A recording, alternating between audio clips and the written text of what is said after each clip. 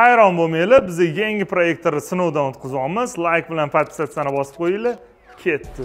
Hozir buni korobkadan ochib olamiz. Bu yoqda proyektordan tashqari televizorlarga ulaydigan sim hdmi bu yoqda keyin pitaniya va pult. Proyektor ochib olamiz. Mana kichkinagina ixchamgina ekan. Uyda oilaviy bemalol konsertlar har xil filmlarni tomosha qilsanglar bo'ladi. Mana ko'rishinglar mumkin bu yoqda fleshka uchun razion bor. Hdmi bu yoqda qanaqadir manimcha pult ushlaydigan joyi va naushnik avdc portlari. Mana bu narsasi esa videoni fokusini ya'ni devorga tushirganingizda fokusini to'g'irlab beradigan переключатель hisoblanadi.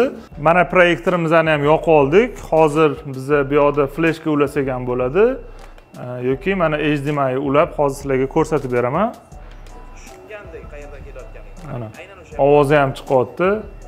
Ko'rib turganingizdek hozir konturni ko'ryapmiz biza agar video xira bo'lsa mana bu o'tkazgich orqali tiniqlashtirsanglar bo'ladi. Endi biza hozir yana ozgina uzoqroq qilib turamiz. Mana ko'rishinglar mumkin razmerini kattaligini. Bundan ham katta qilsa bo'ladi yana ham uzoqroq qilasizlar.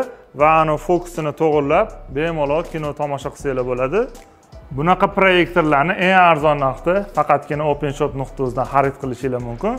Xohlasanglar bo'lib to'lash imkoniyati ham bor.